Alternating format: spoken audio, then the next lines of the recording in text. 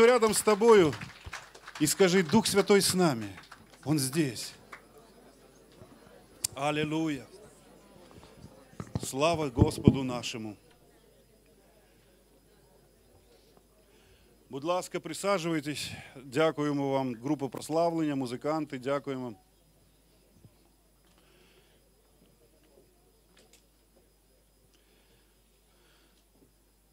Драгоценные братья и сестри, я також хочу сказати вам, що рад вітати всіх, хто сьогодні на нашому собранні зібрані. І нехай Господь рясно благословить кожного з нас. Ще раз хочу сказати вітання всім тим, хто дивиться нас онлайн. Давайте мы поприветствуем всех тех, кто онлайн нас смотрит.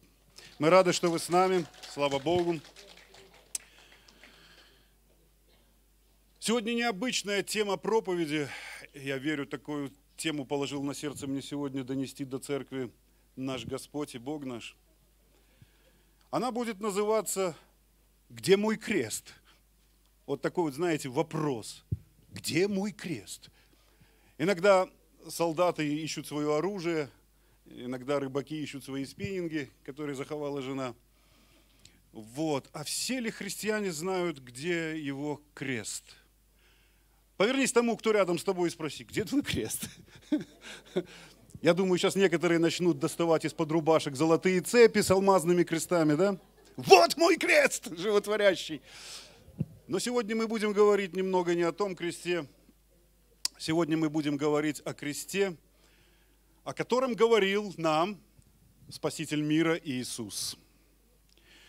Я предлагаю вам открыть свои Евангелия в любом виде, в печатном, гаджеты, а также он у нас будет высвечиваться на экране, это место из Писания. Евангелие от Матфея. Евангелие от Матфея, 10 глава, Читать будем сегодня с 34 стиха. Но прежде чем мы начнем читать, скажу, что эта глава посвящена тому, что говорится в ней о том, как Иисус Христос отправляет своих учеников на проповедь Евангелия, Евангелия в Иудею. И он им говорит различного рода наставления, предупреждения, а также он им говорит о том, что их ждет и как они должны это перенести. Поднимите руки те, кто считает себя учеником Христа. Не буду говорить, не поднимите те, кто не считает себя. Братья и сестры, хри... ученики Христа – это все те, кто называет себя христианином. Теперь поднимите руки те, кто христиане. О, повеселее дело пошло. Так и есть с кем поговорить. Итак, мы начнем читать. чтение, как некоторые священники говорят, от Матфея. Тут написано, не дум, это слова Иисуса Христа, не думайте, что я пришел принести мир на землю. Не мир пришел я принести, но меч. Ибо я пришел разделить человека с отцом его и дочь с матерью ее – и невестку со свекровью ее, и враги человеку домашние его. Кто любит отца или мать более, нежели меня, недостоин меня. И кто любит сына или дочь более, нежели меня, недостоин меня. И кто не берет креста своего и следует за мной, тот недостоин меня. Сберегший душу свою потеряет ее, а потерявший душу свою ради меня сбережет ее. Я думаю, что многие уже неоднократно читали или слышали это место из Писания, где сам Господь Иисус говорит ученикам, последовавшим за Ним, где Он говорит христианам, живущим сегодня в 21 веке, и предупреждает их о том, кто же на самом деле является последователем Иисуса Христа. Он предупреждает нас, что нас ждет не веселейшая прогулочка, знаете, на, на яхте, на катере на каком-то, или по лесу.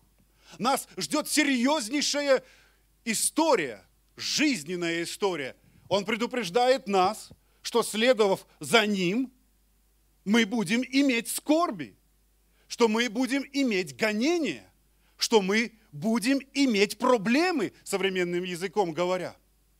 И предупреждает всех христиан о том, что кто следует за мною, он говорит, кто следует за мною, и при этом не берет, не несет креста своего, тот недостоин меня. Следовать за Иисусом Христом можно по-разному. Можно налегке, можно на автомобиле, можно в шикарном храме с кондишеном, можно, можно перечислять бесконечно. Но Иисус говорит, что следовавшие за мною люди должны все до одного нести кресты. И при этом каждый свой. Иисус говорит, подчеркну уже третий раз, те, кто хочет идти за Ним в Царство Божье, должен нести свой крест. Вот сегодня мы об этом и будем говорить. Так где же крест твой?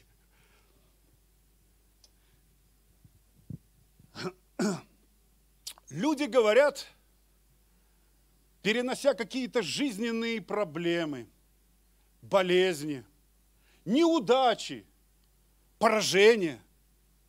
Люди иногда говорят, это мой крест. Вы когда-нибудь слышали, ну, я лично несколько раз в своей жизни слышал, когда, ну, чтобы не сказать, взрослые люди делятся между собою в разговоре, кто из них чем болен. И каждый старается выставить себя самым серьезным, самым великим больным. Помните, как тот Карлсон говорит, говорил в мультике, малыш, я самый больной в мире человек. Вот некоторые христиане делятся между собой своими проблемами и стараются себя как бы этими проблемами поднять, и при этом считают, что это их крест – Давайте же мы посмотрим. Мы должны ясно и четко понимать, э, э, что такое, что является Христом, что не является нашим Христом, мы сегодня поговорим. А то, что является нашим Христом поистине, мы должны все-таки его нести с радостью. Ну да, придумал проповедник, нести крест с радостью, аж припрыжку. Это сложно, но Господь говорит нам, что всякий, кто следует за ним, должен нести этот крест – более того, он говорит, что с радостью. Давайте мы первое. Что не является крестом? Давайте мы обозначимся в некоторых пунктах. Там меня просили пункты ввести. Ну так вот, давайте, первый пункт. Что не является крестом? Так себе и запиши. Что не является моим крестом? Иисус пришел в этот мир и пострадал на кресте – ради нашего с вами освобождения, ради того, чтобы нашу жизнь сделать лучше, прекраснее, чтобы даровать нам свободу. Посему, первое, когда люди говорят, что грех, который он не может побороть в своей жизни, является его крестом, это заблуждение. И Иисус Христос пришел на эту землю, чтобы на кресте, на своем кресте понести все грехи, грехи всего человечества, которые были совершены на планете Земля до его рождения, во время его жизни и после его воскресения. За всякий грех Иисус Христос понес наказание. Это был его крест, но не твой. Когда человек говорит, я не могу победить наркотики, они меня просто уже одолели. Но это мой крест, видимо. Видимо, до конца своей жизни я буду жрать, ой, извините, пить эту водку, курить сигареты, я буду гулять по чужим женам. Это, видимо, мой крест такой. Но чтобы я долго не рассуждал, это заблуждение. Не может грех являться чьим-то крестом. Вы согласны со мной? Олег, ты согласен, молодец. Один Олег, еще пару человек согласились. Братья и сестры, вы что, не согласны с этим? Согласны? Ну давайте, чтобы я вас чул. Итак, Подчеркните себе. Или вы расстроились, что грех не является крестом. А такая была надежда. Такая ж надежда была, что курение это все-таки мой крест. Ошибочка приключилась.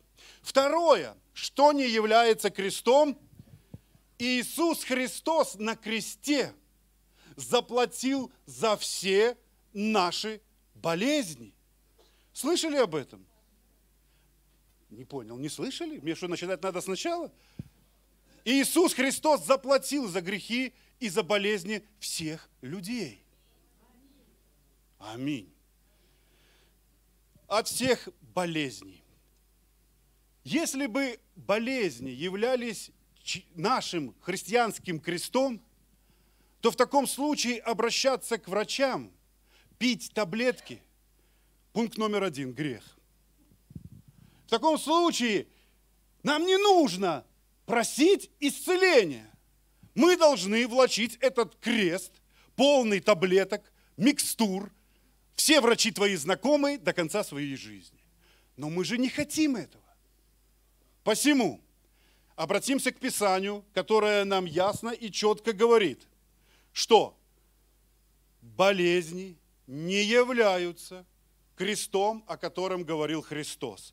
В этой же главе, в 10 главе, если мы почитаем ее всю, мы увидим, что Иисус Христос, отправляя своих 12 учеников для проповеди Евангелия, говорит им, «Ходя же проповедуйте, что приблизилось Царство Небесное, больных исцеляйте, прокаженных очищайте, мертвых воскрешайте, бесов изгоняйте, даром получили, даром давайте». Скажите, Господь не может же противоречить сам себе. Повернись тому, кто рядом с тобою, и скажи, болезнь не наш крест. Болезнь и я – вещи несовместимые. Да, мы можем иногда болеть. Да, приходят различного рода болезни, инфекции и просто по своей невнимательности. Если я выйду зимой раздетый в короткой там, шортах, в футболочке и буду гулять по улице целый день, то я, наверное, непременно простыну. И сказать, что это мой крест, будет нелепо. Посему болезнь – это не наш крест. Еще хочу вам сказать одно, одно из многочисленнейших мест в Писании, привести вам такой пример, записанный в Иакова в 5 главе 14-16 стихи. Здесь Господь через Иакова говорит нам – мне так хочется крикнуть рота подъем. Некоторые уже заснули. Вот честное слово. Есть такие люди, которые уже спят на служении. Уставшие, утомленные под солнцем. Но ничего, недолго нам осталось летом. Написано в Иакова 5 главе. «Болен ли кто из вас? Пусть призовет пресвитеров церкви и пусть помолятся над ним, помазав его елеем во имя Господня и молитва веры исцелит болящего, и восставит его Господь, и если он соделал грехи, простятся ему. Признавайтесь друг пред другом в преступках и молитесь друг за друга, чтобы исцелиться. Много может усиленная молитва праведного. Братья и сестры, хорошая новость. Молитву можно и нужно бороть молитву. Ой, болезнь можно и нужно побороть молитвой. Веришь в это? Слава Богу! Иисус наш целитель, и Он дал нам такое оружие. Третье, что не является крестом у христиан, это наши проклятия. Потому что Иисус освободил нас, оплатил за нас все наши проклятия. Ибо вы знаете благодать Господа нашего, Благодать Господа нашего, она же касается всех отраслей жизни, правда? Или каких-то, какие-то отрасли жизни человеческой благодать обошла? Назовет ли мне кто-нибудь отрасль жизни человека, которую бы благодать Бога не распространялась? Есть ли такие отрасли в жизни? Нет. Давайте мы рассмотрим вот этот пункт номер три, проклятие, на одном простом примере. Бедность. Некоторые люди считают, что он беден, и это его крест – в Индии, например, это вообще культ. Если ты рожден в бедной семье, ты обязан оставаться бедным до конца своих дней. это твой, ну там не крест, это твоя жизнь, ты так должен ее прожить. И тогда Бог, увидев это, смилуется над тобой. Ну, у них своя вера, и своя религия неправильная. И тогда в следующей жизни ты, может быть, возродишься богатым котом. Но это такое дело, в богатой семье, кот в богатой семье. Но это лжеучение. Но христиане, к сожалению, некоторые считают, что бедность – это его крест и он должен быть таким. Некоторые считают, что богатые христиане вообще нонсенс, их не может существовать, потому что они должны быть скромными, э, э, ну, какого-то такого вида неприметного, ездить на обычном велосипеде, ну, максимум велосипед с тачкой. Может быть, он, у каждого свое понимание. Вот люди так считали. Но когда они видят богатого, а ассоциация у бедного населения, если он богатый, значит он что? О, откуда вы знаете? Откуда вы это знаете? Я вам говорю, откуда это укоренилось в нашем обществе. Но Бог говорит, что, на примере, что я заплатил за все ваши проклятия. Я вам хочу сказать, что бедность или там э, это не является чем-то постыдным, э, но когда это понимаете, становится образом жизни людей, когда человек, находясь в этой клетке бедности, вечных долгов, э, считает, что надо смириться с этим и до конца своих дней так и жить. Это неправильно. Сегодня ты можешь быть на высоте, завтра ты можешь быть немного внизу, но это такая вот жизнь. Но из нее надо всегда выбираться, и Господь, благословивший все отрасли нашей жизни, благословит нас и финансово тех, кто будет искать. Бедность или там какие-то другие отрасли и виды проклятия не являются нашим крестом, ибо вы знаете благодать Господа Бога нашего Иисуса Христа, что Он, будучи богат, обнищал ради вас, дабы вы обогатились Его нищетою. Бог не желает, чтобы мы жили в нищете. Бог желает, чтобы церковь Его, она была богатой, готовой в любой момент благословлять и давать, готовыми быть на всякое доброе дело. Как же может быть бедный, готов на всякое доброе дело благословлять, строить храмы, помогать там бедным, нищим другим? Как ты сможешь это сделать, если ты сам беден? Церковь Христа никогда не будет бедной. Поэтому, братья и сестры, вычеркните из списка своих э, э, отраслей, в которых вы считаете, что вы несете в этом крест Божий. Это неправильно. Четвертое, что не является крестом Божьим, это последующие одна за одной какие-то провалы и неудачи. Некоторые думают, что вот такой мой крест, начну дело, рухнуло, начну дело, рухнуло, значит, это не мое, значит, это мой такой крест. Ну, вы простите меня за постоянно повторяющееся вот это словосочетание, это мой крест не будет это, не есть это крестом. Потому что, подчеркну уже в который раз, Бог пострадал на кресте за все наши грехи, немощи, болезни, проклятия. И благословить нас хотел и сделал это, чтобы мы во всяком добром деле преуспевали. Итак, грех, болезнь, бедность и неудача не являются собой крест на нашем христианском пути. Это то, от чего нас избавил Иисус Христос. Вы запомнили это? Вычеркните это из своей жизни. Вы успешные люди во Христе. Вы здоровые люди во Христе. Вы свободны от всякого проклятия и греха. Воздайте славу Господу Иисусу. И если это есть в твоей жизни, тебе этому нужно объявить войну. Второе. Второй пункт нашей проповеди. Что есть истинный крест? Что есть истинный крест? Ну, вы все знаете, как выглядит крест. Вот он.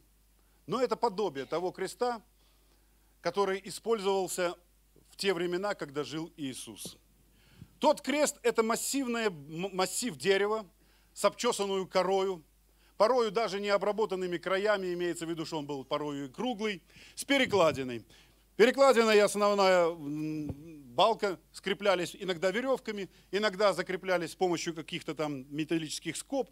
Это не важно сейчас для нас. И на этом кресте приводилась в исполнение самая суровая и страшная казнь того времени. Евреи распинали и давали свое разрешение на распятие только лишь за самые страшные преступления. Для римлян это вообще была позорнейшая смерть. То есть такой смертью казнили, через такую смерть приводилось в исполнение э, наказание только самым страшным негодяем, проклятым и так дальше. это была весьма суровая казнь. Что же имел в виду Иисус, когда говорил о том, чтобы мы служили Ему, неся свой крест? Во-первых, пишите номер один, пункт номер два. Слушайте, как несложно проповедовать такими пунктами. Мне легче, как письмо прочитать. Но все же, первое, что является нашим крестом, означает отречение самого себя. Отречься самого себя. Вы знаете, это самое сложное. Самое сложное – отречься самого себя. Но те, которые Христовы, распяли плоть со страстями и похотями.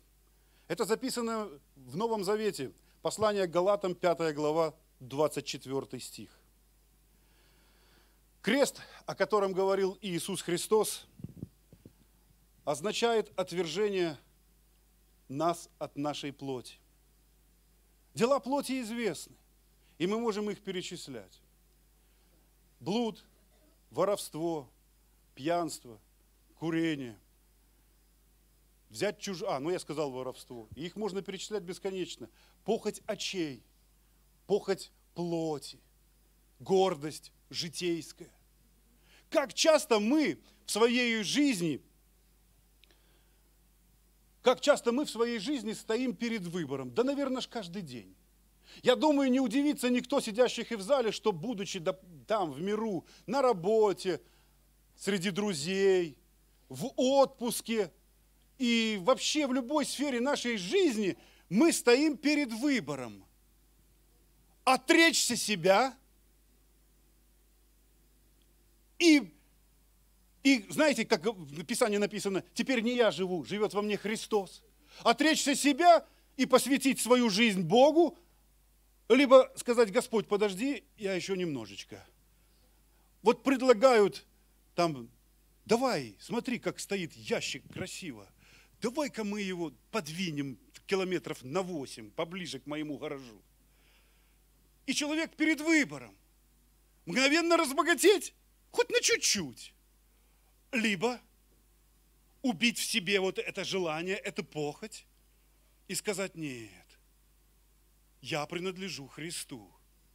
Как вы думаете, этот выбор для людей простой или сложный? Для тех, кто духовный, для тех, кто с Богом давно. Вы думаете, легко? Я специально так начал. Тоже бывает нелегко. Вы думаете, Всякий христианин устоит, когда приходит искушение? К сожалению, не всякий.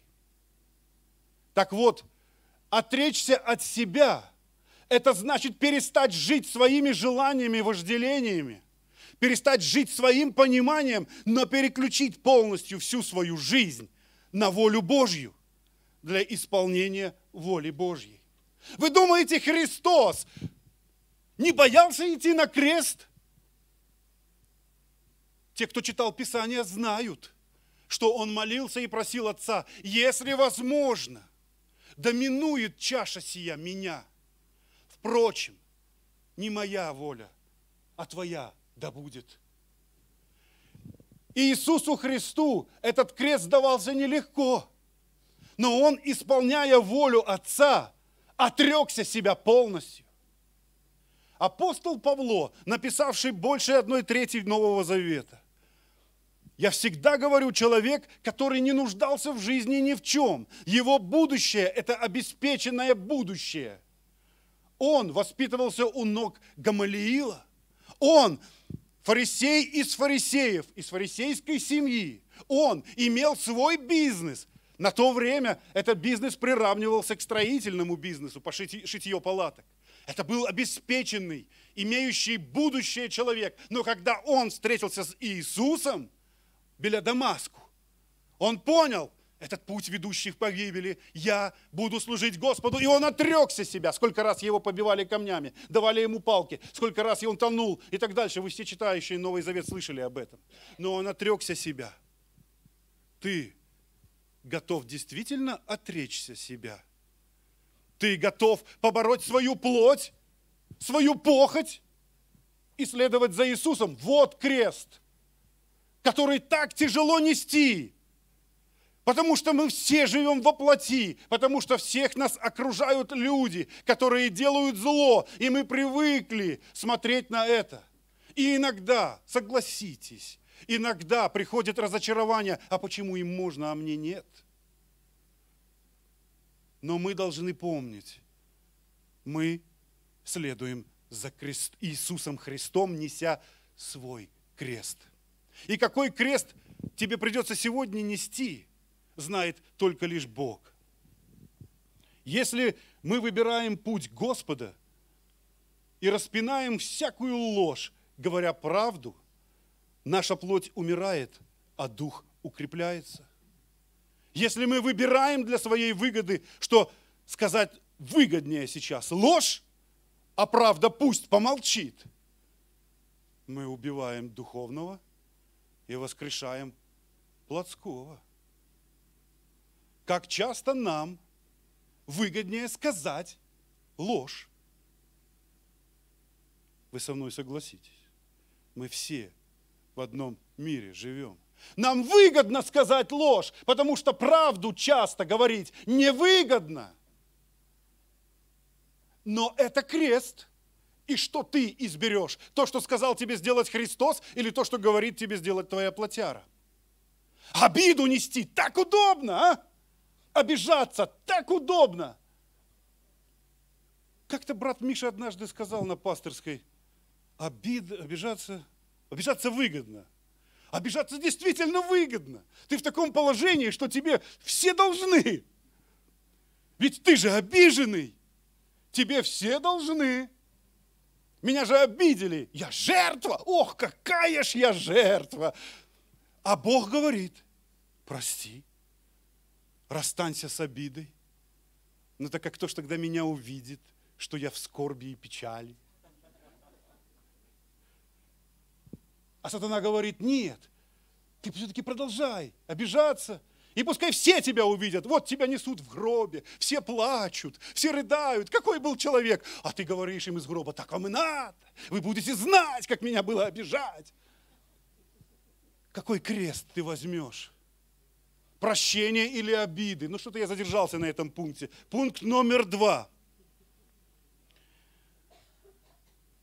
Иисус Христос предупреждает, и мы сегодня с вами читали здесь, что следующих за Ним людей, несущих свой крест, ждет поругание, и Он должен его терпеть. Если мы хотим следовать за Христом, мы должны знать, что нас будут гнать, неправедно злословить, будут выгонять из, как там написано, из синагог – но я не буду сегодня говорить на религиозные темы, но мы будем терпеть поругания. Нас будут всячески злословить и обзывать. Готов ли ты к этому? Когда ты, принимая водное крещение, говорил Богу, я обещаю служить тебе в чистой и верной совести до конца своих дней, служение Богу подразумевает и предвидит, что рано или поздно в своей жизни ты столкнешься с проблемой, которая называется поругание. Ты будешь плакать. Тебя будут неправедно обзывать. Штунда, сектант, да таких, как вы. Мой дед в 50-м в тюрьму садил. Плювать будут, обзывать и неправедно злословить, когда ты пойдешь на евангелизацию. А не поэтому ли ты боишься евангелизировать? Не поэтому ли ты боишься сказать то, что тебе поручил говорить Христос? Не поэтому ли ты боишься засветиться в обществе, как верующий человек? Я думаю, что одна из причин именно это. Нам некомфортно становится, когда на нас тычут пальцем. И при этом еще что-нибудь говорят – но ты знать должен, что Иисус предупреждал тебя и говорил тебе, что следующий за мною будет гоним, как и Он, и Иисус был гоним. Ты готов к этому? Нас будут гнать до конца дней этой земли. И как Христос говорил, и настанут времена, когда убивающие вас будут думать, что тем служат Богу. И Иисус предупреждал – вы думали, нести крест – это так легко? Сейчас половина зала решит, пойду-ка я лучше куда-нибудь в другое место. Но я ничего не говорю от себя. Я говорю то, что сказано Богом, то, что Дух провещевал. Если кто-то видит в чем-то, что я говорю неправду, вы можете сказать мне об этом. Но я говорю все, что сказал Иисус Христос, не добавляя от себя ничего, только современные примеры. Третье, что является нашим крестом, это гонение. Не поругание уже, а гонение. Мы с вами живем в христианской стране, так называемой христианской, потому что здесь государственная вера – христианство. И мы с вами только что говорили о поруганиях. И за что же это нас ругают? За проповедь Христа. И нас ругают христиане, не до конца познавшие любовь Отца. И мы как бы снисходительно к ним относимся. Ну, братья и сестры, Господь вам откроет. И иногда все-таки боимся. Но вот когда придут гонения, мне нравится одна история, которая произошла в Пятидесятнической церкви во времена страны Советов. Трое братьев решили все же проверить искренность веры своих братьев и сестер в церкви. И они оказались довольно-таки неплохими шутниками. У одного из них был родич, служивший в милиции. И они оделись в милицейскую форму в стране советов на тайном собрании.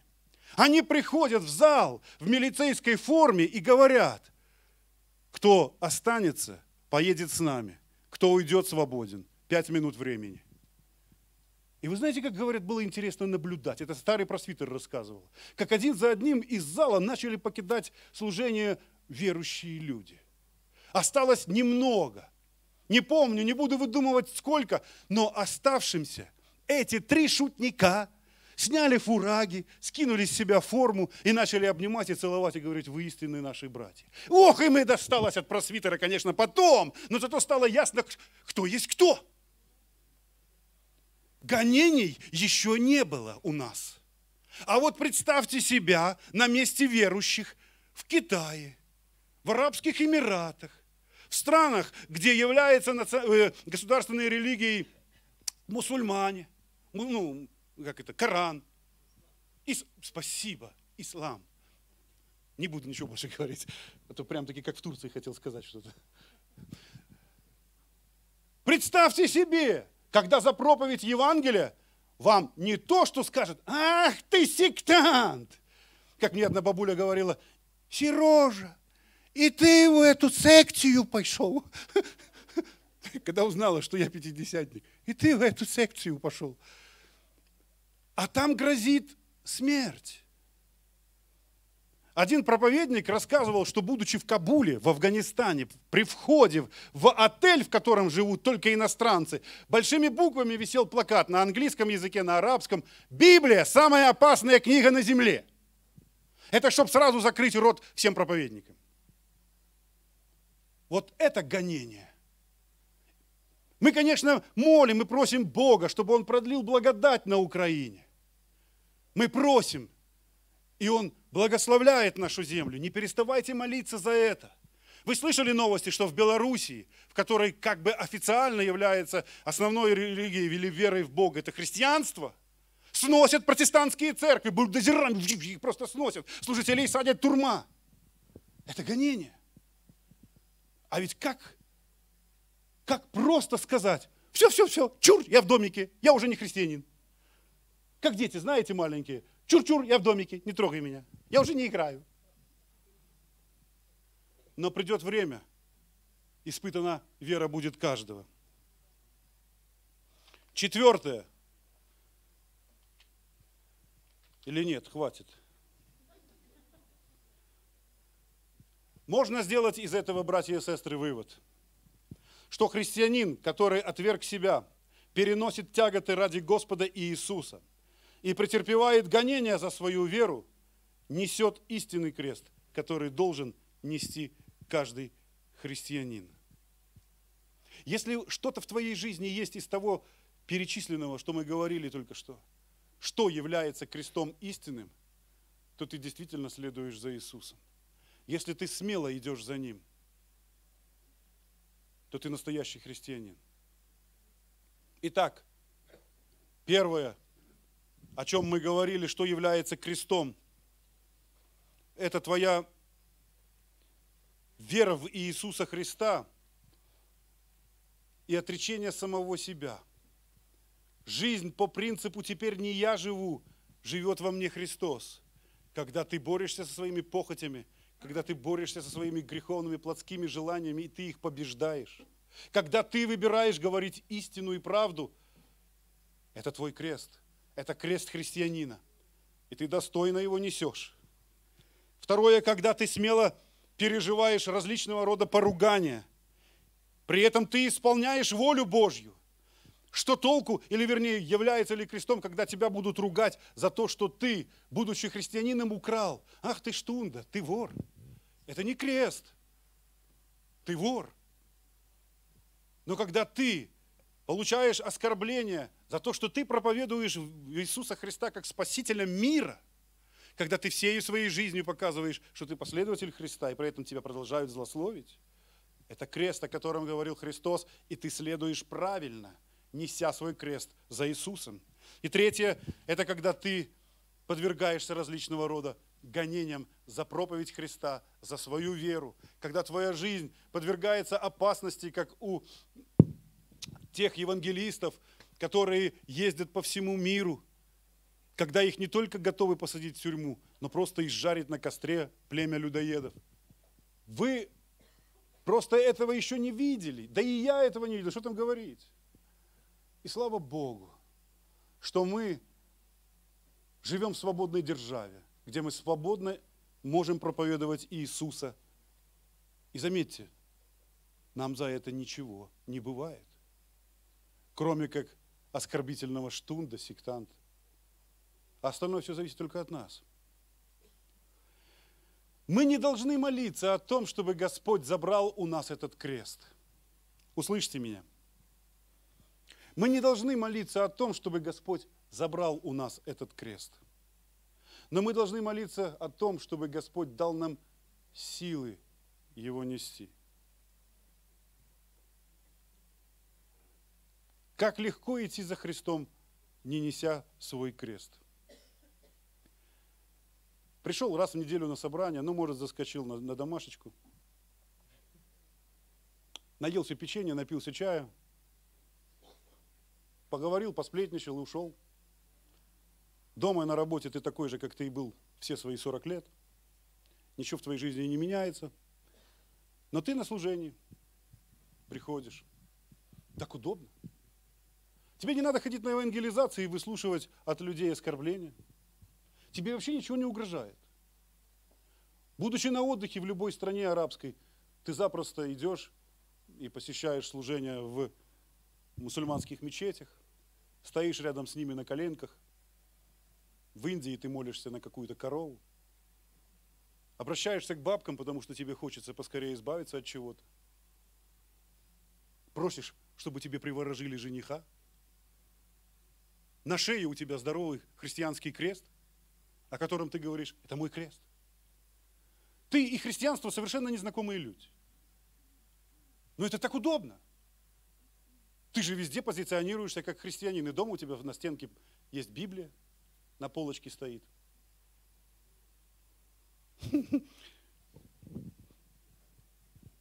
Какое удивление было у одного человека, когда он в одной из своих Библий нашел 500 гривен, которые ему подарили на день рождения. А он их так долго искал. Есть притча об очках, а тот реально из жизни 500 гривен в Библии нашел. И вот искал, говорит.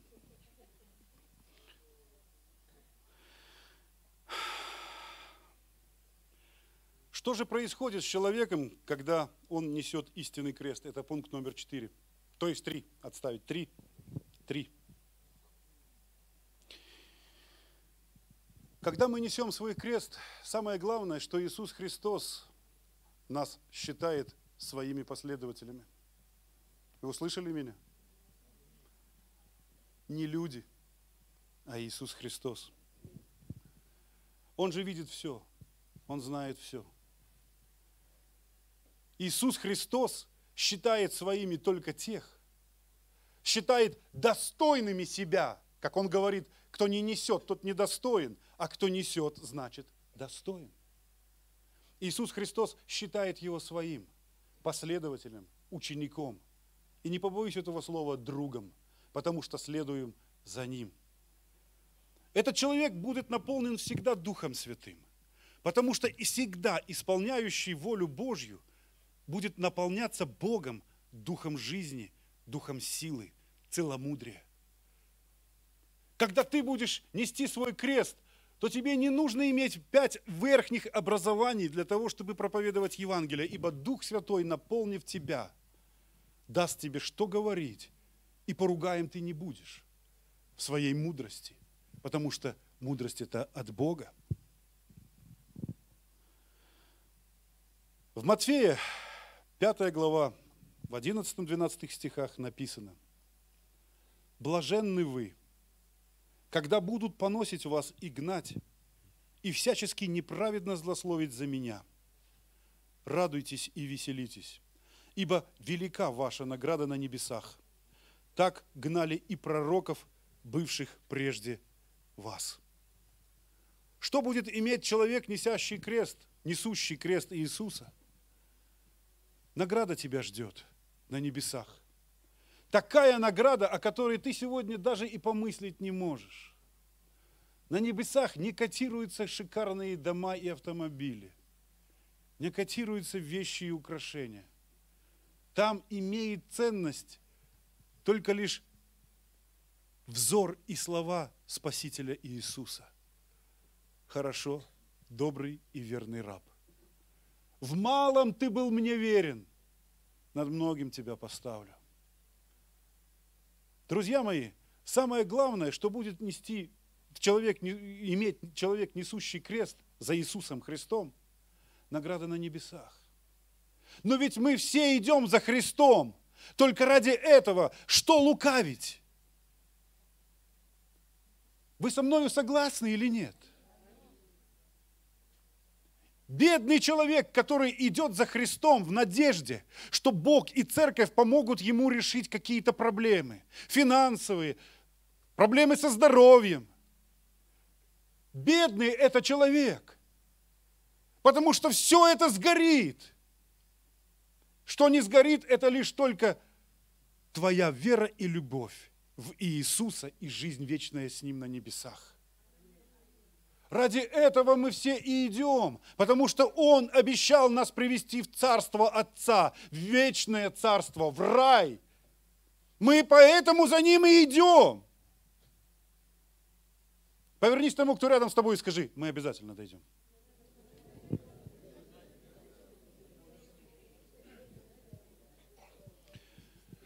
Иногда мы можем, следуя за Христом, наткнуться на серьезнейшие проблемы, повторюсь, на работе, в семье. Как говорил Христос и предупреждал нас о том, и домашние будут враги. Но если ты останешься верным Христу, ты обязательно получишь свою награду. Если твои род, родственники, семья твоя восстали против тебя лишь только потому, что ты стал по-настоящему верить в Иисуса Христа, радуйся и веселись и с радостью смотри в будущее, и с верою в то, что и они будут спасены. И они возрадуются тому, что ты был верным.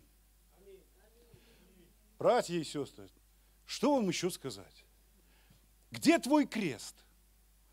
Я еще раз тебя спрошу. Где твой крест? Ты его бросил на обочине? Или ты все-таки сейчас развернешься, пойдешь и заберешь его? В следовании за Иисусом Христом. Однажды придет момент, когда этот крест проложит тебе дорогу в Царство Бога. Беден человек, который придет к этому оврагу, как помните, это рисунок, да? А креста-то нет. И тогда он спросит, а где мой крест? Да ты его бросил лет 40 назад, беля ганделыку. Если есть время, сгоняй, забери. Братья и сестры, я приглашаю вас к молитве. Я приглашаю вас к молитве.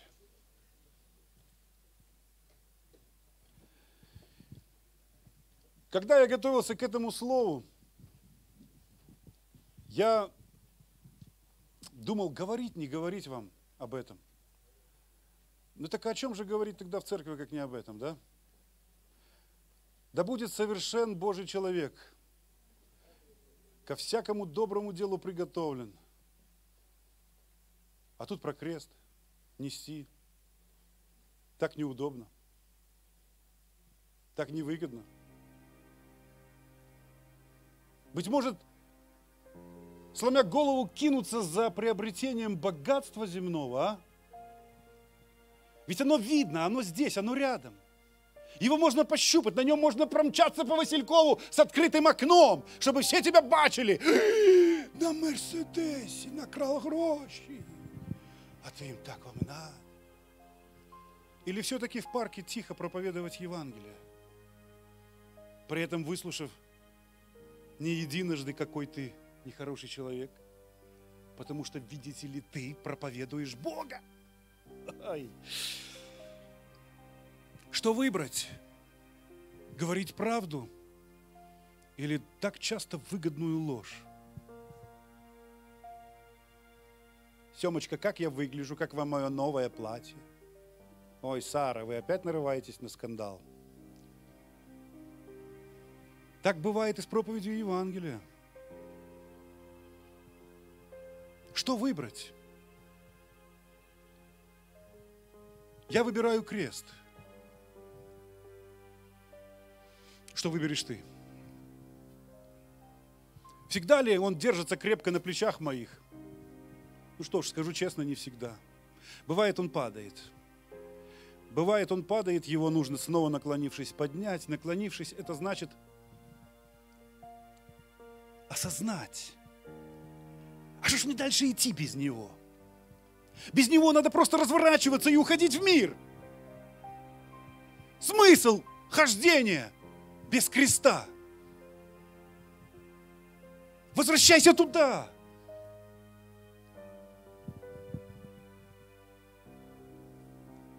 Я призываю вас, возлюбленные Богом, братья и сестры, сейчас, вот прямо сейчас задуматься, идти с крестом или идти в припрыжку, в пустоту, с крестом за Иисусом в Царство Божье. Без креста –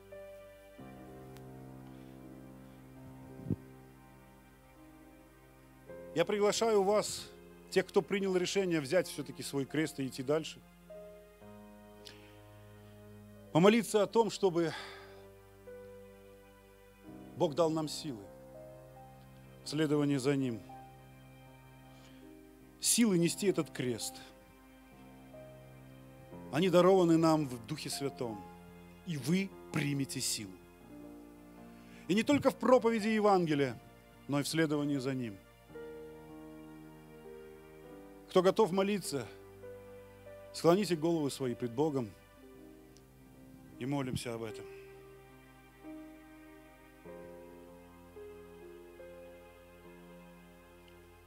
Иисус, Ты Господь наш и Бог наш. О, великий Бог, не мы Тебя избрали, а Ты. Это Ты избрал нас – и призвал нас в дом Отца. Это Ты назвал нас по имени и услышал крик сердца нашего, Духом Святым Твоим разбуженного. Ты разбудил наши сердца, наши чувства, наши мысли. И мы однажды, услышав Тебя, приняли Тебя своим Богом. Спасибо Тебе. Ты доверил нам, Господи, самое ценное – проповедь Евангелия на этой земле. Спасибо Тебе. Ты сказал нам, Господи, чтобы следовали за Тобою и исполняли волю Твою, и этим угодим Тебе. Боже наш, Ты дай, будь ласка, силы каждому из нас в следовании за Тобою. Дай силы нам нести этот крест, порою настолько неудобный, колючий, необтесанный. Боль иногда разрывает сердце и разум, но Ты, Господи, дай нам силы его нести, не волочить, не толкать, а нести, как ты нес его на Голгофу. При этом, Господи, не унывая, не ропща, но с радостью, с радостью глядеть на воздаяние. Боже святый, я молю Тебя о братьях моих и о сестрах, тех, кто ослабел, укрепи, ибо человеческую силою это сделать невозможно. Лишь только силою и любовью Твоею, Дух Святой, во имя Иисуса Христа. Благослови братьев и сестер, благослови и наполни церковь нашу. Пусть мудрость Твоя, она исправит все наши кривые пути. Бог наш, мы смиряемся пред Тобою. Ты Господь наш. Ты Бог наш. Ты хозяин наш. Ты царь царей и господствующий над всеми господствующими. Ты владыка неба и земли. И мы принадлежим Тебе. Тебе мы воздаем всю славу, честь и хвалу во веки веков. Аминь. Дорогие братья и сестры, может быть, в этом доме есть люди, которые сегодня нуждаются в том, чтобы Бог простил вам ваши грехи. Прощение грехов – это прерогатива лишь только Бога. Лишь только Он может прощать, потому что грех – это деяние против воли Божьей. И если ты в своей жизни совершил грех, тебе нужно покаяние. Нужно, чтобы Бог простил тебе его. Святых, безгрешных людей, то есть, не существует. Все мы согрешили, и все мы нужны в прощ... нуждаемся в прощении. Дорогой друг, если ты хочешь, чтобы Бог сегодня простил тебе все твои грехи, я приглашаю тебя выйти вперед, и мы вместе с тобою помолимся к нашему Богу. И на основании Библии, авторитетом Библии я заявляю тебе, Бог простит тебя. Простит тебя потому, что Он любит тебя. Потому что пошел на этот крест ради тебя, ради спасения твоего. Иисус распят был на кресте. Это Его крест за тебя, за нас всех, за всех живущих на этой земле – и нету другого имени под небом, коим надлежалось бы человеку спастись, кроме имени Иисус Христос. И не важно, сколько ты ходишь в церковь, не важно, сколько тебе лет, не важно, какими грехами ты грешил, не важно. Любой грех, его можно уничтожить лишь только покаянием. Любой – Рядом с Иисусом висели убийцы, которые убили людей во время мятежа. Но Иисус одному из них, который признал его своим Господом, который признал в нем Бога, этому убийце Иисус через его покаяние сказал, ныне же будешь со мною в раю. Люди могли бы и осуждать это, но Бог так решил, и Бог неизменен, какой бы грех в твоей жизни не был как бы он ни назывался. Бог желает его тебе простить. Но для этого нужно лишь только одно – твое желание, твое покаяние, твое обращение к Богу со словами «Прости меня, я был неправ». Может быть, ты сегодня впервые. Не стесняйся. Все христиане через это прошли. Может быть, ты смотришь это служение сейчас онлайн, и ты чувствуешь, что ты нуждаешься в этом, там стань на колени пред Богом и помолись вместе с нами, и Бог простит тебя. Я жду еще буквально полминуты. Я знаю, в этом доме есть люди, которые нуждаются в прощении, но почему-то ты боишься, стесняешься, робость одолевает тебя. Не бойся Бога и не стесняйся Его. Иди за Господом смело. Если вам удобно, если вам удобно физически, душевно, духовно, станьте пред Богом на колени, братья и сестры. Будьте свободны. Если у вас не получается это, будьте свободны. Это означает, мы смиряемся пред Господом. Кто не смог стать, склоните свои головы в знак своего смирения пред Ним. Если ты не вышел и стоишь сейчас в зале, молись вместе с нами. Повторяйте, пожалуйста, за мной эту молитву. Иисус Христос, спасибо Тебе, что Ты даешь мне эту возможность каяться пред Тобою. Спасибо Тебе, Иисус. Я каюсь за все свои грехи, за все зло, за все злые слова, мои неправильные мысли. Прости меня за них. Иисус, я осознаю, что был неправ. Прости меня. Я отрекаюсь от всякого зла и провозглашаю Тебя, Иисус Христос, своим Господом.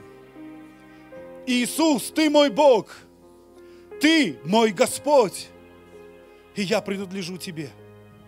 Дай силы мне следовать за Тобою, исполнять волю Твою. Научи меня любить людей, ценить жизнью и Словом Твоим. А всю славу за мою новую жизнь я отдам лишь Тебе одному. Ты мой Бог, Ты мой Спаситель. Слава Тебе, Отец, Сын и Святой Дух. Аминь. Воздайте славу Господу, братья и сестры. Не спешите расходиться с теми, кто сегодня впервые вышел на покаяние. Сейчас служителя познакомятся, подарят вам Евангелие. Напоминаю вам, что завтра в 19.00 наставничество 1, и все бажающие, и все те, кто проходит его, вы можете присутствовать на нем. В 19.00 здесь в храме наставництво 1. Будь ласка, Марина, пожалуйста.